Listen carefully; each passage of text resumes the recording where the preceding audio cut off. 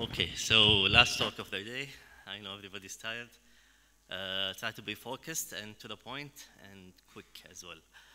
So uh, first of all, I'd like to thank KGA for inviting us for this uh, magnificent day. I'll be talking about a, a topic that is uh, quite evolving, especially in the last few years. Many things have been new in this topic, okay? Uh, and many things have been understudied as well. Uh, many things are theoretical. So we'll be talking about the field of endohepatology, EUS applications in liver disease. Uh, we'll start uh, initially with uh, speaking about the liver anatomy, uh, the EUS way to look at the liver, and then we'll go into the interventions, uh, mainly how to take a liver biopsy, uh, investigating focal hepatic lesions, the portal vein, gastric varices, ascites, and then some few slides on therapeutic roles of EUS in the liver. So the liver anatomy, it's a bit different than when you see the liver on conventional ultrasound or CT, because here you have to have some imagination. Here you have to put 3D conceptualization into perspective, okay? So as we all know, the liver has eight segments, and to know which segment is which, you need to know the landmarks of the anatomy. Uh, the portal vein branches, you see them on EUS as thick hyperechoic walls. Of course, they are Doppler positive. The hepatic vein branches, you see them thin and non-reflective. The biliary radicals have an irregular course, they are Doppler negative. Then you see the ligaments, which are more of hyperechoic structures. There's no lumen in them. And then obviously the landmarks that we all know, the gallbladder and the liver hilum and so on. So what divides those segments is the following. First of all, you have the middle hepatic vein, and this divides the liver into left and right lobes. And then further into the left lobe, you see the falciform ligament and the left hepatic vein. These divide the left lobe into a medial, which is 4A and 4B, as well as lateral segments, which are 2 and 3. And then the right hepatic vein, of course, divides the right hepatic lobe into anterior and posterior segments. And the caudate lobe, which is difficult and hiding, it lies in the posterior compartment between the ligamentum venosum and the inferior vena cava. This is a quick demonstration, as we can see, the segments in the right lobe, the segments in the left lobe, and what divides what. So when you do EUS, you have two stations, basically. You have a station from the stomach and a station from the duodenal bulb. The, each station sees different segments, and there's a combination of segments that can be seen with both. So with the stomach, we start in the cardia, and with the duodenum, we're always in the duodenal bulb. So from the stomach, with the scope just below the cardia, as you can see here, okay, uh, you see the IVC and you see the right hepatic vein. And when you're at this point, you can see segment 1, segment 8, and part of segment 7.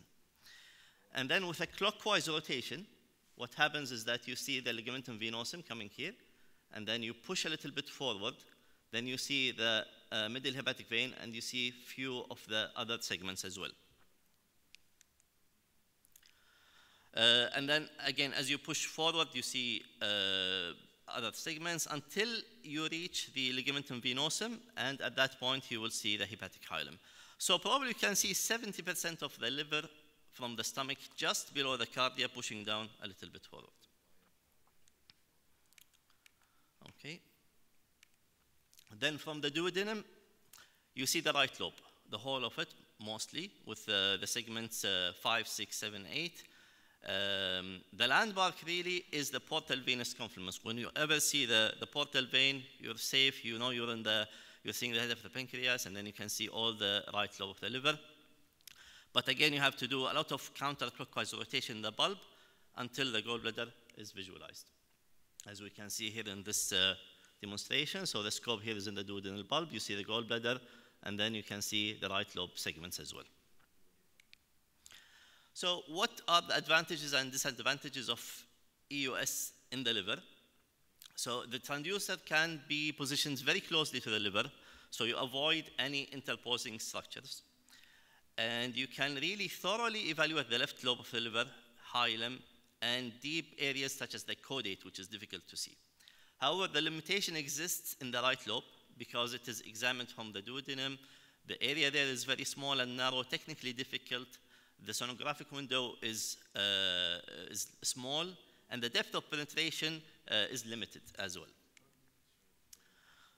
The advantage as well is that we have extra features with this. So we have Doppler ultrasound on it. We can see the blood vessels. We have elastography, so we can see the color-coded uh, to see the tissue stiffness, whether this is a, a hard stiffness or soft uh, stiffness. And this is not limited by ascites or thickened abdominal wall, such as when we do the uh, transabdominal elastography. And we also have the benefit of the contrast enhancement, which help distinguish vascular rich and hypovascular areas of the target lesions. Okay. Uh, so we'll move on to the first application of it, which is liver biopsy. This is the most well-studied application of EUS in uh, liver disease. It is mainly or mostly safer than percutaneous uh, counterpart because you can see under direct vision. You can avoid puncturing large vessels. Uh, if there is any abdominal surgical scars, ascites, or abdominal wall thickness, you can perform it much easier than percutaneous route, and the specimen adequacy and yield are at least comparable between both techniques, so it is at least as good. There's minor pain, but not as much pain as with the percutaneous route because there is no skin puncture. The benefit as well is that you can see both the left and majority of the right lobe as opposed to the uh, percutaneous route. So you have quick and safe multiple passes from both lobes which give you increased histological uh, variability.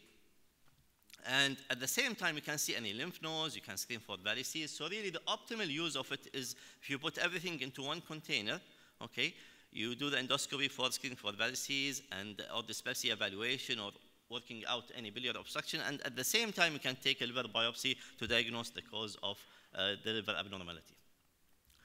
So the technique is usually using the linear endoscope, of course. Uh, we start with the left lobe of the liver to get the proximal stomach, and then we move to the duodenum to get the right lobe.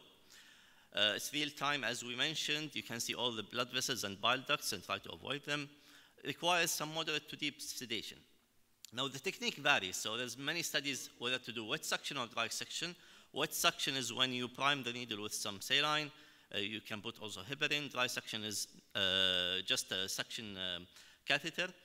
So studies have shown that wet suction is a little bit better because it, uh, there is no breakdown in the, in the actual uh, fragment, there's no fragmentation. There's also the fanning technique, which is puncturing at different ang angles. And then the depth of the needle pass, which has to be at least three centimeters, preferably seven, but it's not visible all the time, how many passes and actuations. Actuations is how many actual uh, to and fro movement in a single pass in a single area. And then we go on to the needle cho choice, whether we use FNA or FNB. FNBs have proven to be better in terms of tissue acquisition and diagnostic yield. The size 22 versus 19, again 19 has been proven to be better in many studies with, uh, uh, with lesser fragmentation and more adequate uh, tissue. And then the type of needle, whether this is Franseen, which is the, the triple uh, puncture site, or a fork tip. And there was one study with a direct head-to-head -head comparison and showed that the Franseen type or um, shape is better, probably because of the three equal cutting surfaces, so you have a more intact core uh, specimen. And then this is a, a very recent uh, meta-analysis uh, last year, I think, uh, with a total of 1,300 patients showed that the diagnostic yield is up to more than 95% with EUS FNB and gives you a total specimen length of around 50 millimeter and complete portal tracts around 15. This is much more than the required from ASLD. ASLD needs 20 millimeter and 11 CPTs. So it's highly uh, adequate for um, diagnosis. How safe is it? Well, it's safe, pretty safe. There's a little bit of abdominal pain, which is usually mild self-limiting, more with FNB needles. Uh, other thing is bleeding. It's quite rare. It's only up to 1.2 to 2%. And a, strong point here to remember is that when you throw the needle, you have to really monitor the needle tract if there is any colored Doppler coming back.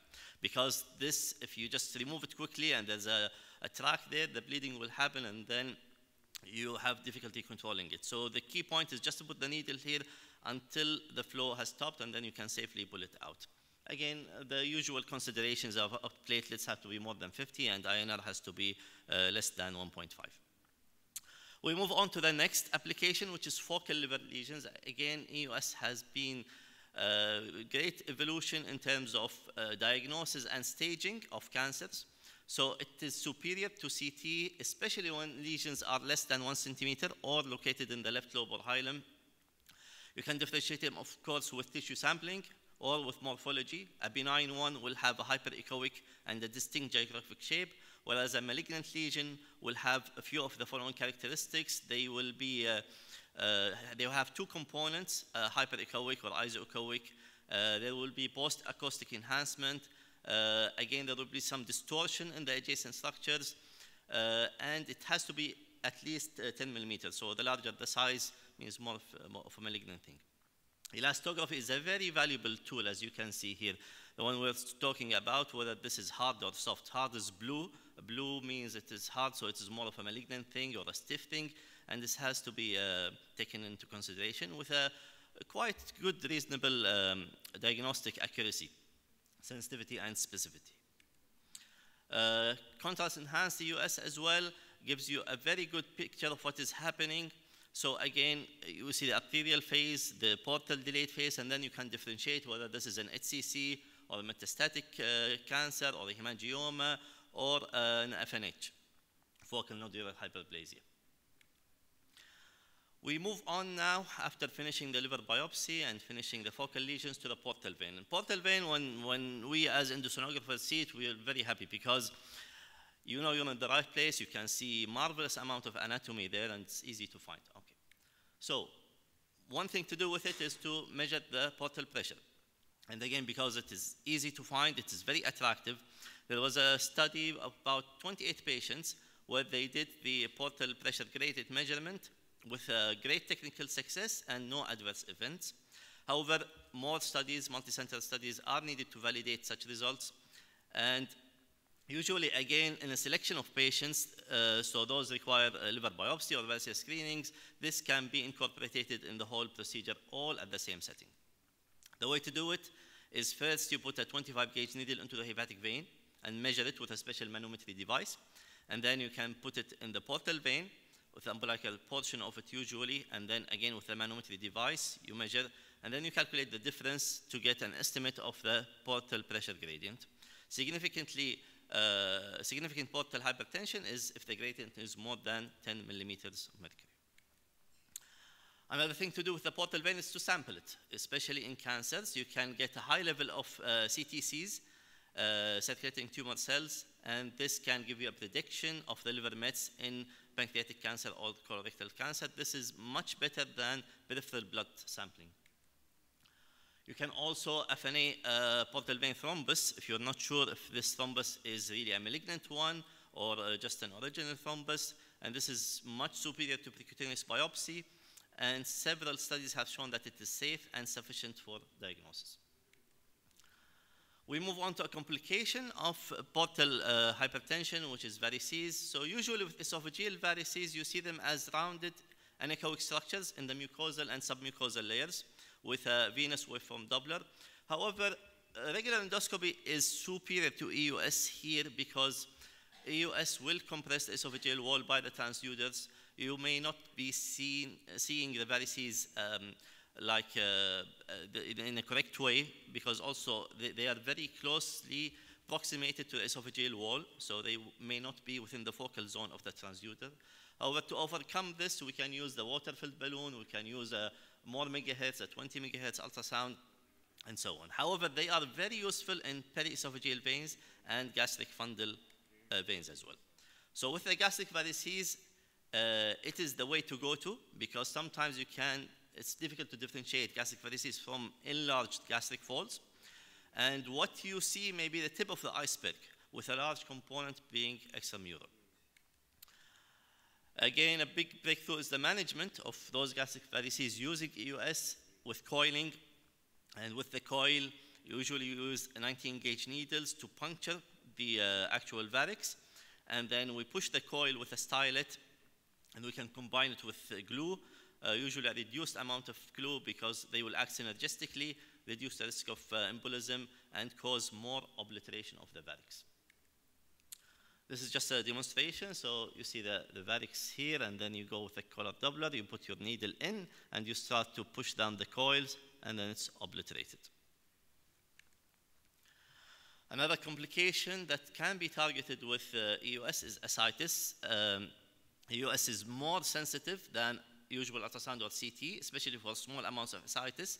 However, in ascites secondary to cirrhosis, the role is limited because you don't want to wait for endoscopy to rule out SBP, and you have to puncture across the, the bowel wall, leading to more contamination. However, the standard of it is really in malignancy-related ascites, where uh, it gives you beautiful diagnostic information with a great sensitivity, specificity uh, as well. And you can also uh, sample the fluid. You can FNA any omental or peritoneal nodes on the same setting. So again, this is just a quick demonstration. Here, this is the black is the ascites. This is a mural nodule here or peritoneal deposit. And then you just needle it and take a sample of it. Final few slides are about therapeutic roles of EUS in liver. Most of these are still in animal studies. They are in just case reports and so on. But they're very promising for the future. So hepatic cyst drainage, there's a study about 17 patients where 10 of those cysts were uh, percutaneously uh, drained and lavaged with ethanol versus 7 and showed a, a really a, great uh, comparison between both in reduction However, uh, the recommendation was that uh, EUS will be better for left hepatic cysts and percutaneous approach for right hepatic cysts. Same thing with the abscesses and range of abscesses. Again, uh, great achievement here. But again, it's still in the study phase, and it's more preferable in the left lobe. Uh, EUSBD has been greatly uh, advanced now with uh, many techniques and uh, many breakthroughs here. It's not the time to talk about it, but we'll specifically say some advantages of it. Usually it's an alternative to percutaneous route or surgery when ERCP fails. EUS guided has those the following advantages. You can do it at the same setting when ERCP fails, same endoscopy, same sedation, and so on.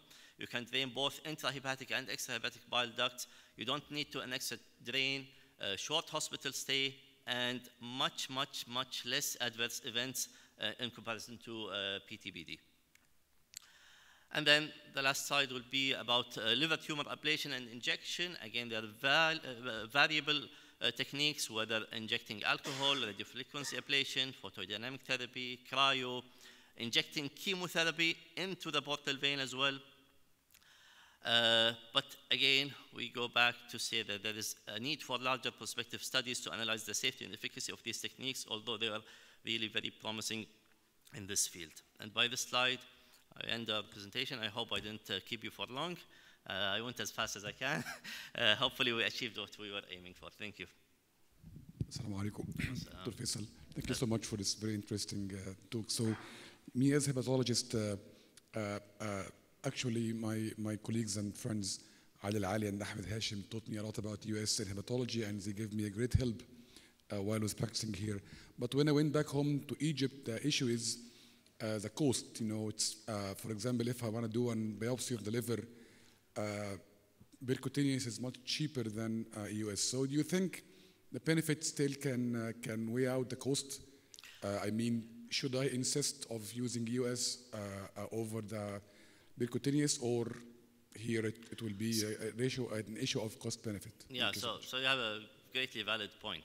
Uh, I think that the best use of it, as, as I mentioned just maybe uh, slight subtly, is that when you are in, in a setting where you're doing esophageal varices screening or banding or you're checking for anything else, at the same time you can do the, uh, the biopsy. This will be the best utilization. So you can do few things in one setting, but if, if the patient is just for liver biopsy, well, you can argue about cost at this time. Um, uh, again, uh, maybe save it for people who have contraindications to percutaneous liver biopsy, or it's difficult to get a percutaneous liver biopsy on them. But I think the best use of it is if you have few, uh, more than one indication, and then at the same setting, you will do the liver biopsy, uh, EUS guided.